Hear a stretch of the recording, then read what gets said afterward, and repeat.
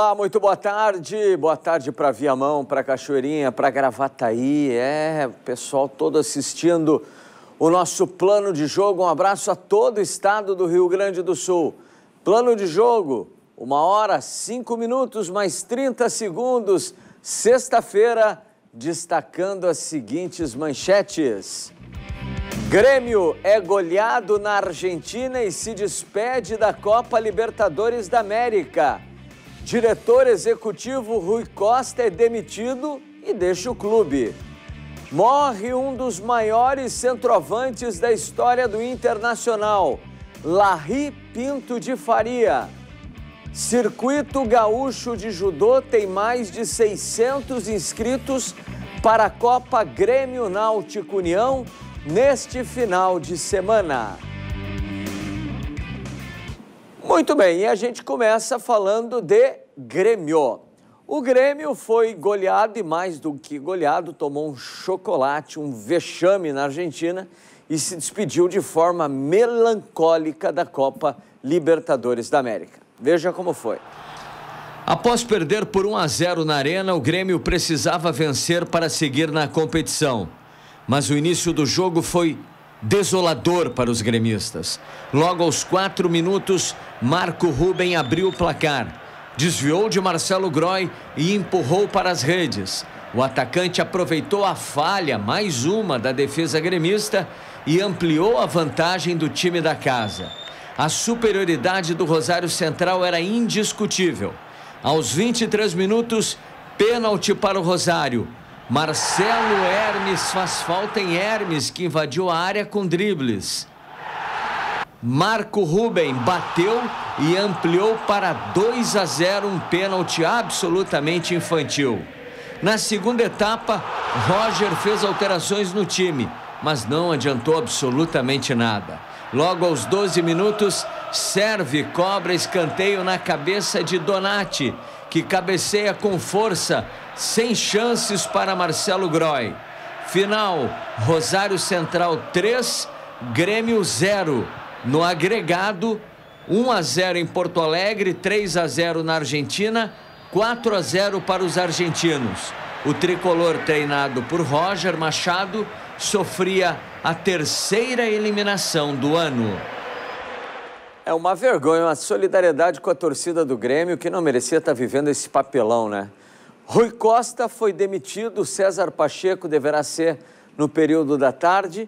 Roger Machado não é mais unanimidade e vários jogadores serão dispensados. Não pode o Grêmio, a gente falava ontem aqui no programa que o Grêmio não ia classificar, não pode o Grêmio ter um jogador sonolento, preguiçoso né? e acomodado em campo, por exemplo, como Douglas, e nem ter a braçadeira de capitão, o Maicon, que é um jogador que mostra mostra em cada jogo que participa do Grêmio total desequilíbrio emocional, sem contar, sem contar outras várias nabas que tem o time do Grêmio.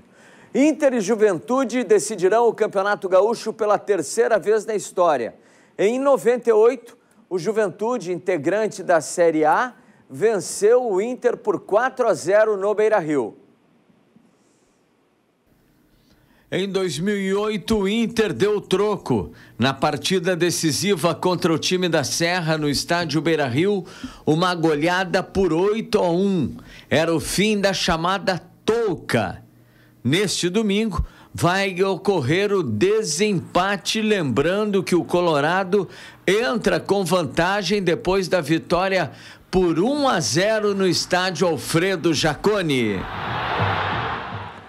É, o Internacional deve ter um grande público, cerca de 42 a 45 mil pessoas deverão estar presentes no estádio Beira-Rio, domingo às quatro da tarde. O Inter tem a vantagem e, como eu costumo dizer, não fico no muro, o Internacional vai ser sim, com todo o respeito que merece e merece o Juventude, o Inter vai ser ex-campeão gaúcho. Morreu o ex-atacante do Inter, Larry Pinto de Faria. Um ídolo e um dos maiores jogadores da história do Inter, sem dúvida alguma.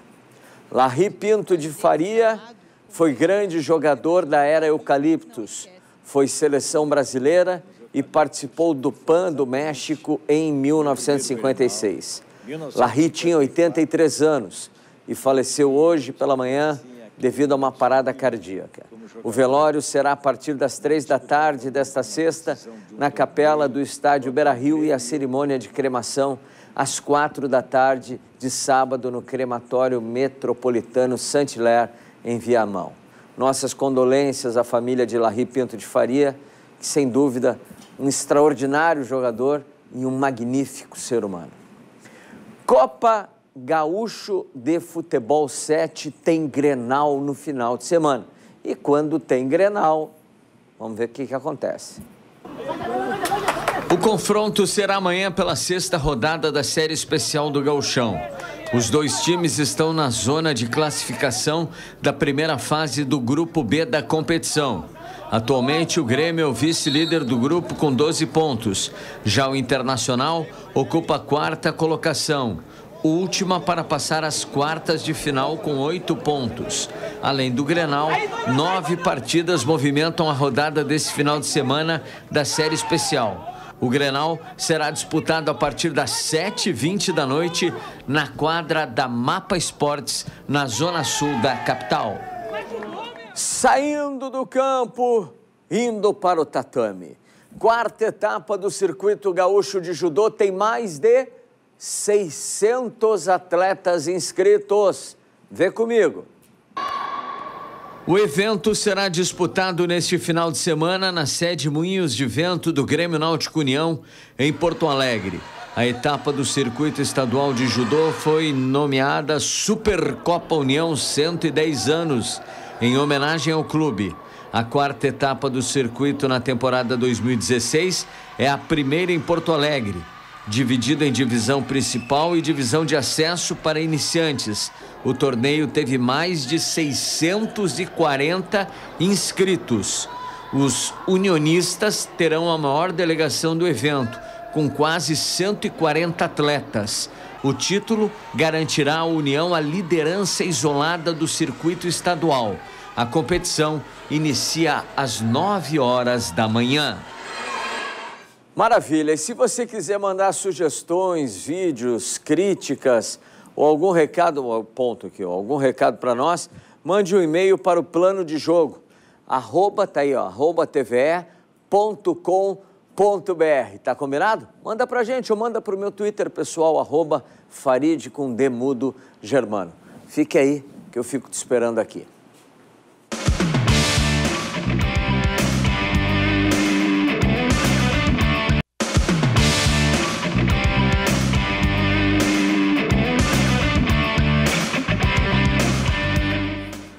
Falei que era rápido, era rapidinho. Uma rápida informação que eu tive agora no intervalo. Uh, a direção do Grêmio se reúne daqui a pouco na Arena e várias outras decisões, além da já demissão de Rui Costa, serão tomadas. A tarde promete muito pelos lados do Grêmio. No plano de jogo, recebemos Conrad Lee, instrutor de Kendo. Professor Conrad, boa tarde, prazer em tê-lo aqui no plano de jogo. Ah, boa tarde, Farid. Vamos falar um pouquinho o que é o, o, o, o Kendo para quem não conhece. O Kendo é uma arte marcial baseada uh, numa forma de esgrima japonesa. Né? O objetivo é semelhante à esgrima, é você atingir os alvos, marcar pontos no seu oponente, né? E vestimos armaduras de proteção para evitar, para evitar uh, termos uh, machucados durante a prática ou competição em si. Então, observe-se ali né, no, no vídeo, nós temos um capacete para proteger a cabeça, Sim. com abas para os ombros, temos uma armadura no corpo e luvas também para proteger as mãos. Como é que está estruturado o esporte aqui no Rio Grande do Sul?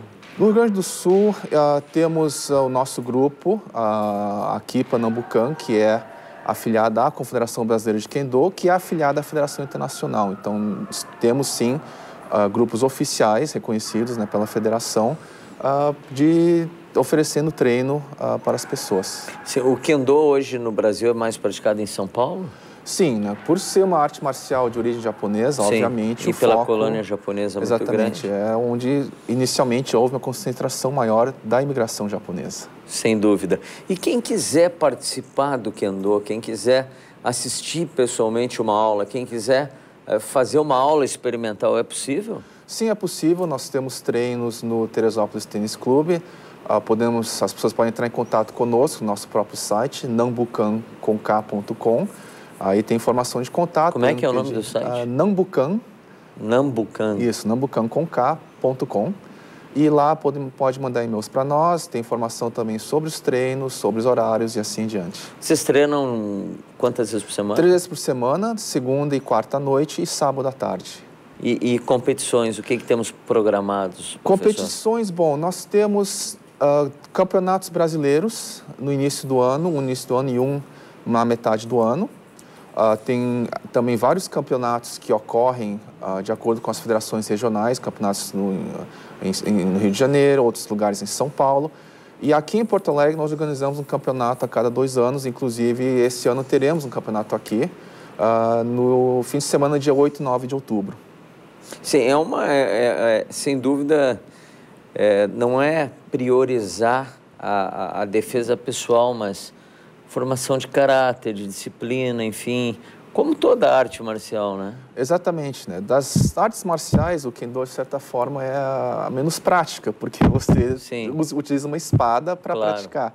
Mas, em termos... Mas é muito, a gente vendo nas imagens, é muito semelhante à esgrima mesmo, né? Ah, sim, é semelhante. Há um foco de acertar não só o alvo, mas também de acertar o alvo com um golpe que é considerado um golpe equivalente, como se fosse de espada. Sim, então, os como golpes... se fosse um golpe mortal. Exatamente, né? Uhum. Então, nesse aspecto, há um, há um aspecto muito uh, importante, muito focado na parte de, uh, de preparo, não só mental, uh, preparo físico também, como artes marciais, todas as artes marciais são. E é necessária uma preparação física especial para a prática do Kendo? A princípio, não. Uh, o condicionamento físico necessário para fazer Kendo é um pouco diferente de outras artes marciais. Então, geralmente a gente pede que a pessoa faça uns treinos de experiência para ver como ela se sente, se o corpo se adapta, se sente Sim. direitinho. E aí a pessoa, conforme vai treinando, ela vai vendo as suas necessidades. Se quiser complementar com alguma atividade a mais, pode. Mas a princípio o Kendo ele é uma atividade bastante aeróbica que ele, a pessoa vai adquirindo o seu condicionamento físico ao longo do tempo também. Sim, como as outras artes marciais, é, o, o, o psicológico, a concentração, ela é fundamental? Sim, é bastante fundamental, né? Tanto que uh, os, o que nós chamamos o instante em que você tem a possibilidade de atingir e realizar atingir um golpe são muito pequenas. Então a pessoa é precisa cirúrgico. ter exatamente a pessoa precisa ter uma concentração muito uh, forte para poder perceber aquele breve instante e poder executar o golpe no, no, naquele momento. Se não perde essa oportunidade, geralmente há um bloqueio ou há um, um golpe não atinge o alvo correto. Muito bom. Professor Conrad Lee, instrutor, professor de Kendo, muito obrigado pela participação aqui no Plano de Jogo. A TVE é a única TV de todos os esportes, que abre para todos os esportes. E sinta-se em casa, né? Sempre que necessário, estamos à disposição. Obrigado, Farid. Obrigado. E você sabe, você pode acompanhar o Plano de Jogo também na internet. Basta você acessar o canal da TVE no YouTube. O endereço está aí na tela para você tá certo? Ah, tem horário alternativo, nove da noite, tem plano de jogo, segunda a sexta, nove da noite, tem plano de jogo para você também. E ai, não esqueça, não posso deixar de esquecer e jamais vou esquecer. Amanhã, sábado, duas da tarde, tem TVE Esportes. Então, um ótimo final de semana para você. Muito obrigado pelo carinho da audiência e a gente se encontra amanhã às duas da tarde no TVE Esportes. Tchau!